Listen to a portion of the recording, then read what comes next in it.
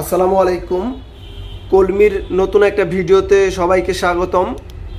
আমার সামনে যে চারটা স্মার্ট ওয়াচ দেখতে পারতেছেন, এই চারটা স্মার্ট ওয়াচ হচ্ছে কলমি পি টোয়েন্টি এইট প্লাস তো কলমি পি টোয়েন্টি এইট প্লাস কিন্তু সব থেকে জনপ্রিয় মানে কম রেঞ্জের ভিতরে কথা বলা যায় এমন স্মার্ট ওয়াচ তবে লুকিংয়ের দিক থেকেও খুবই ভালো স্মার্ট ওয়াচটি তবে কলমি পি টোয়েন্টি এইট প্লাস চারটা কালারই আমাদের টেকডিন শপে অ্যাভেলেবল আছে।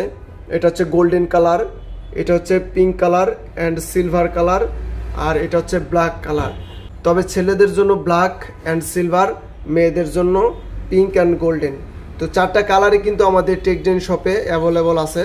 তাছাড়া আমরা যদি বামে একটু দেখি, বামে যদি দেখি, আরও কিন্তু কর্মীর স্মার্ট ওয়াচ আছে আমাদের টেকডিন শপে তো সবার প্রথমে কর্মী আই টোয়েন্টি এটা শুধু black colour Colmi I twenty আর এটা হচ্ছে Colmi I ten Colmi I ten সাধারণত দুইটা কালার একটা ব্ল্যাক কালার একটা সিলভার কালার তবে সিলভার কালারটা খুবই সুন্দর ব্ল্যাক কালার থেকে। সিলভার কালারটা খুবই প্রিমিয়াম এবং লুকিংটাও খুবই ভালো করছে। আর এটা হচ্ছে Colmi I thirty Colmi I thirty কিন্তু তিনটা কালার একটা হচ্ছে গোল্ডেন কালার এটা হচ্ছে golden colour and black colour আর এটা হচ্ছে স্টাফ হচ্ছে রেড অ্যান্ড ডায়ালটা হচ্ছে সিলভার তবে স্টাফের সাথে কিন্তু ডায়াল সিলভার হাতে খুবই ভালো লাগে। চাইলে আপনি এক্সট্রা একটা বেল্ট কিনে নিতে পারবেন।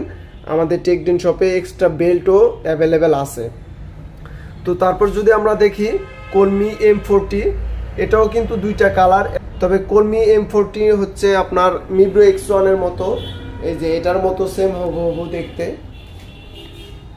কলমি এম ফোরটি তো তারপর যদি আমরা দেখি কলমি পি এইট ম্যাক্স এটা হচ্ছে সিলভার কালার এটা সিলভার কালার আর একটা ব্ল্যাক কালার হয় সাধারণত। ব্ল্যাক কালারটা বর্তমান নেই আমাদের কাছে সিলভার কালারটি অ্যাভেলেবেল আছে।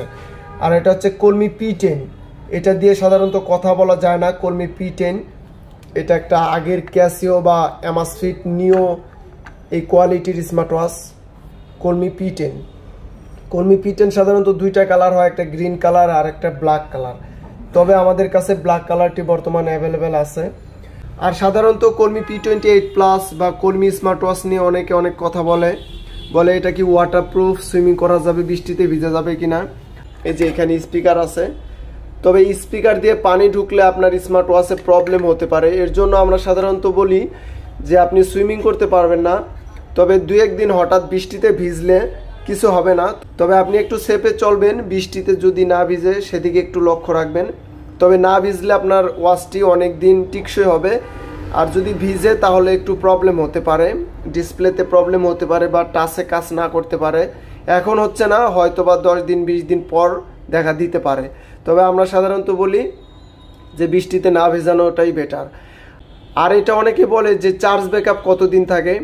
তো সাধারণত কথা বলা স্মার্ট ওয়াচ কিন্তু দুই থেকে তিন দিন বা একদিন এরকম চার্জ ব্যাকআপ পাওয়া যায়। আমাদের শপে অনেকে আসলে বলে কতদিন পাওয়া যায়, আমরা চার্জ ব্যাকআপের বিষয়ে কিছু বলি না। কথা বলা যেগুলো যায়, সাধারণত একদিন বলে থাকি। আর যেগুলো কথা বলা যায় না, সেগুলো এক সপ্তাহ প্লাস বা সাত দিন, আট দিন বা ইউজের ওপর ডিপেন্ড সম্পূর্ণ আপনার চার্জ ব্যাকআপটা ইউজের ওপর ডিপেন্ড করবে, এর জন্য আমরা চার্জ ব্যাকআপের বিষয়টা কিছু বলি না। তবে কোম্পানি অনেক দিন বলে থাকে। তো এই ছিল কলমির কালেকশন আমাদের টেকডেন শপে তাছাড়া আমাদের টেকডেন শপে কিন্তু সকল নতুন নতুন বা অনেক স্মার্ট ওয়াচ আমাদের টেকডেন শপে অ্যাভেলেবল আছে।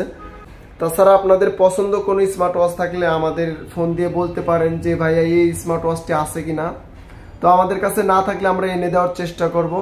তাছাড়া আপনাদের স্মার্ট ওয়াচের যে কোনো প্রবলেম থাকলে আমাদেরকে ইনবক্স করতে পারেন। আমরা তার সমস্যার সমাধানের চেষ্টা করব। তো সবাই ভালো থাকবেন, সুস্থ থাকবেন এবং টেকডিনের সাথে থাকার জন্য সবাইকে ধন্যবাদ। আসসালামু আলাইকুম।